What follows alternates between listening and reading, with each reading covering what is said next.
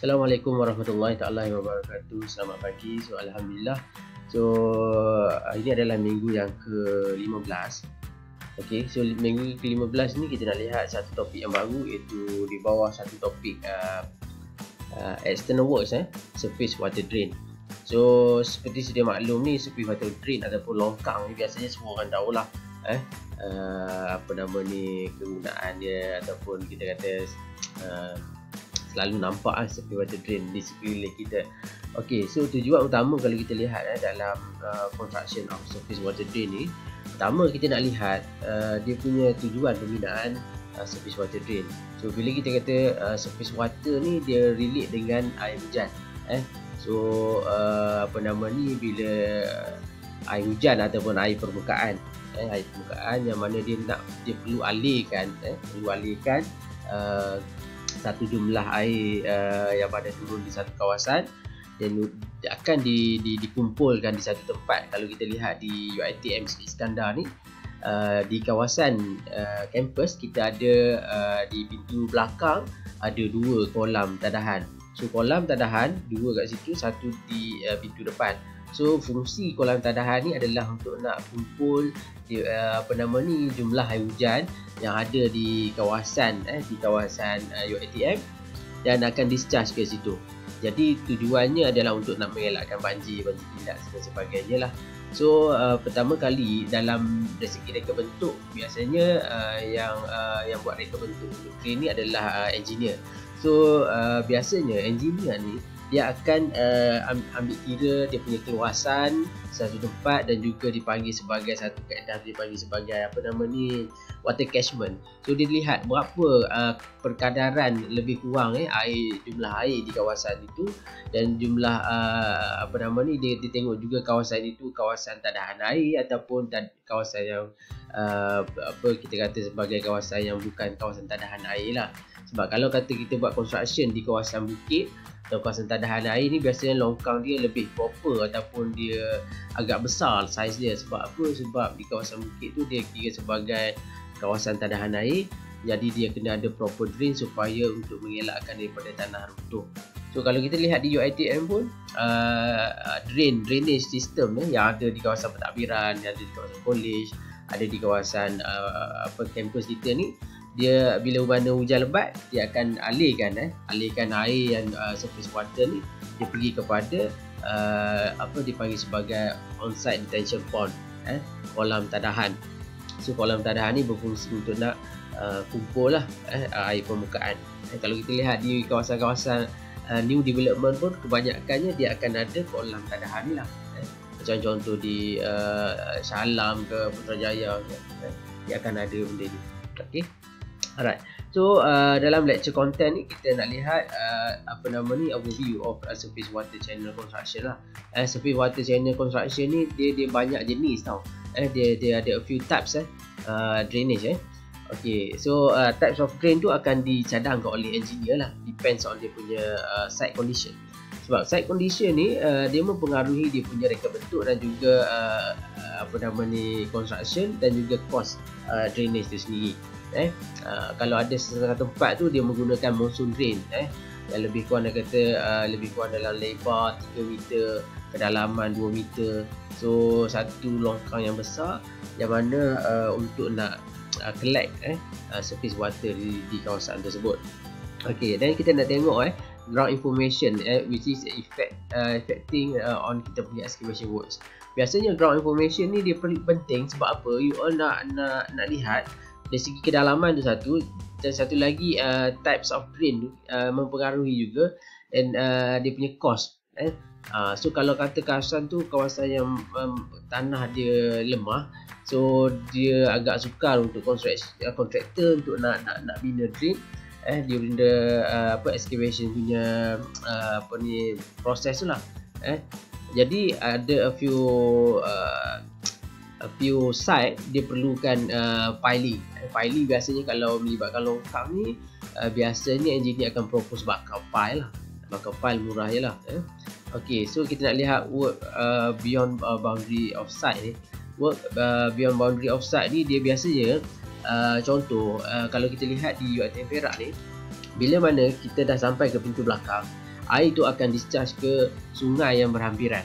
Ha, jadi bila mana di antara pintu belakang ke sungai tu air itu disigat, dikira sebagai kita punya uh, outside boundary. Di luar daripada uh, boundary uh, kita lah UiTM Perak. Dan uh, beyond uh, work beyond boundary ni kita punya dalam kita keliling kita punya UiTM lah. Jadi bila mana kita nak discharge air uh, berada di dalam kolam tadahan tu bila mana dia dah penuh dia akan alihkan air pergi kepada sungai uh, dekat pintu belakang sungai Seluang. So kat situ dia akan discharge uh, air yang lebihan daripada UiTM so itu sebab uh, dalam uh, drainage ni construction ni dia akan melibatkan uh, JPS Jabatan Pengairan dan Saliran. So JPS akan advise in term of dia punya joint uh, connection dekat mana kat mana dia nak discharge eh. Kalau kita lihat eh uh, apa sistem longkang ni uh, during the construction contractor masih uh, dia walaupun longkang dekat site kita tu tak tak siap lagi. Tapi uh, contractor kena buat temporary drain earth drain eh longkang tanah. Dan juga dia panggil sebagai uh, kolam tadahan. Ada satu tempat kolam tadahan dan dia ada satu filter.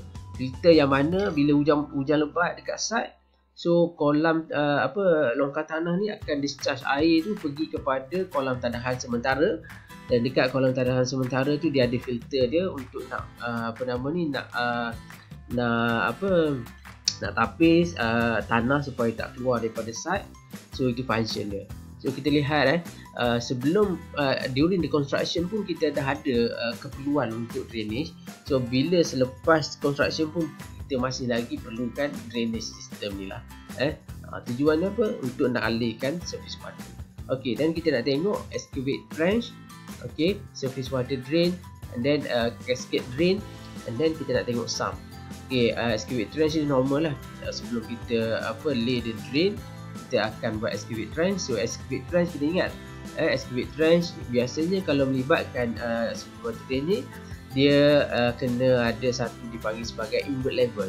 Invert level tu apa dia? Level yang mana uh, satu kawasan level yang tinggi satu kawasan level yang rendah uh, kedudukan yang rendah supaya air tu dapat dialirkan. So kalau kita lihat drawings uh, drawings tu akan tunjukkan eh, akan tunjukkan uh, dia punya invert level tu berapa So daripada situ uh, uh, QS boleh uh, tengok eh, dan bina uh, description ataupun measure uh, kita punya drainage berdasarkan dia punya data yang diberikan oleh engineer dalam drawing tersebut. Okay, and then surface water drain ni normal lah. Surface water drain tu dia punya precast tu lah. Eh, okay, precast drain tu. Eh, ada yang jenis precast, ada yang jenis itu.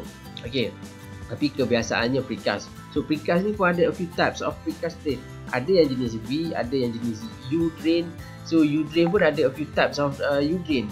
Eh, uh, and, and then kita ada half round drain and ada uh, apa uh, channel yang yang yang glaze drain pun ada juga. So ada beberapa jenis drain dalam uh, uh, dalam kita punya construction. Okay, so overview of surface water drain. Apa yang kita nak lihat dalam uh, surface water drain?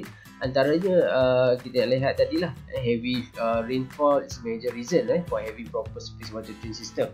Eh, uh, saya ada kongsikan satu video dekat uh, Google Classroom. So video tu dia tunjukkan uh, apa nama ni sistem uh, drainage di kawasan ataupun di negara uh, empat musim.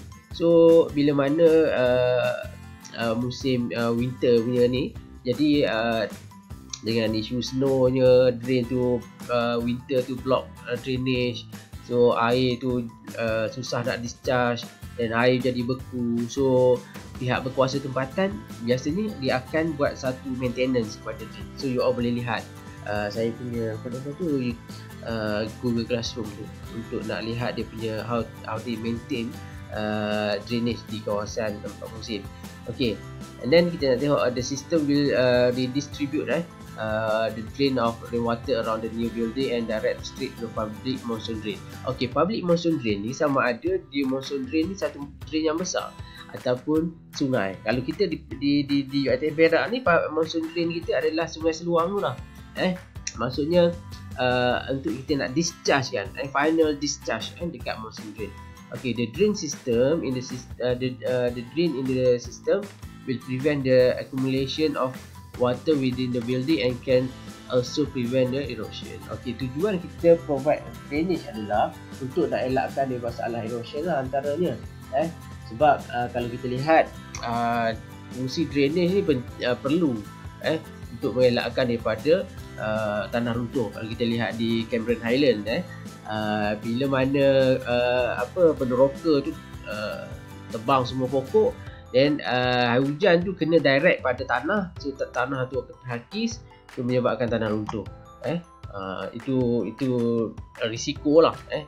Therefore di kawasan uh, kalau kita lihat di mana highway eh kawasan highway uh, you all bila lalu dekat highway yang mana dia potong bukit tu nampak air tak ada pun dalam longkang. Tapi sebenarnya longkang tu tujuannya adalah untuk nak uh, apa uh, kettle eh uh, air uh, during uh, apa uh, heavy rainfall lah eh.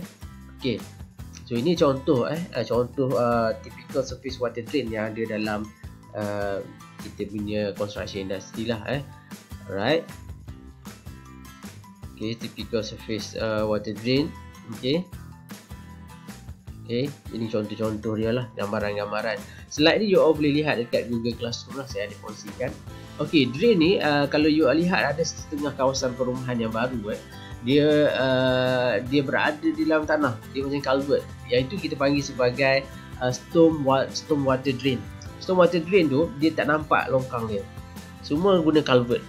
Dia berada di dalam tanah. Eh, kalau dekat Bandayu kawasan perumahan yang baru tu dia ada uh, kawasan rumah tu kalau you lihat uh, dengan mata kasar tak nampak sebabnya longkang tu ada di dalam tanah.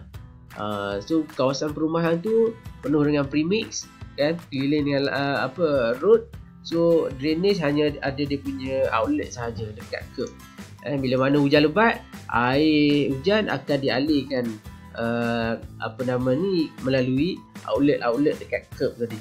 Eh, supaya mengelakkan daripada banjir lah.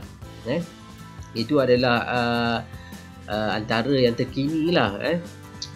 Okay, ini contoh monsoon drain.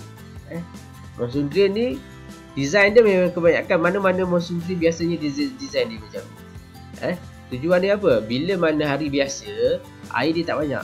So bila hujan, therefore dia buat satu macam half round drain kat sini. Eh, ni air untuk uh, kegunaan harian. Bila mana hujan lebat, uh, dia akan penuh sini. Eh, uh, so kalau kata tak ada yang kecil ni, air akan berselerak eh, sampah-sampah akan berselerak. Sebab apa? Sebab uh, kuantiti air dia tak banyak. So dia akan jadi berselerak di sini.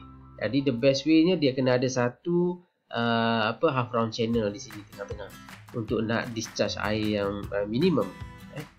Okey, major item the measure adalah uh, kita lihat uh, pertama kita nak tengok uh, information eh. Information on ground and surface on site. Information ni macam mana kita nak gain the, uh, the info. First kena buat uh, soil investigation. Eh, kita nak kena nak tahu info go, uh, apa ground tu. Kita kena buat uh, dia punya apa soil investigation eh. Right, and then kita ada excavate trench, excavate trench, and then kita ada water drain and then kita ada sump. Okay. So ini item yang kita nak, lihat eh. Okay so ground information. So apa yang ada dalam ground information? Okay ground information. Uh, pertama yang kita nak tengok dia punya water level. Sebab water level ni membantu kontraktor untuk nak nak plan dia punya works. Eh, sebab apa? Sebab bila mana water level tu tinggi, kalau kita buat kerja uh, uh, apa nama ni water level di uh, saya sebagai contoh eh kita buat kerja di kawasan berhampiran dengan laut ataupun sungai. So kebiasaan kawasan ini adalah kawasan yang mana water level dia tinggi. Kita korek uh, lebih kurang 900 mm punya kedalaman, biasanya air dah keluar. Kan? Ataupun 600 mm kedalaman, air pun dah keluar. Air dalam air dalam tanah kan. So itu adalah kawasan yang mana dikategorikan sebagai water level yang tinggi. Eh? So uh, saya ingat ini sahaja saya kongsikan. InsyaAllah ada bahagian dua nanti saya akan kongsikan uh, apa nama ni penerangan ataupun lecture on uh, surface water drain insyaAllah.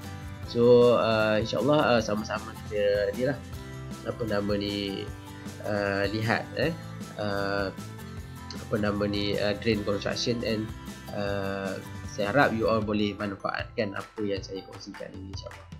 So terima kasih. Assalamualaikum warahmatullahi wabarakatuh.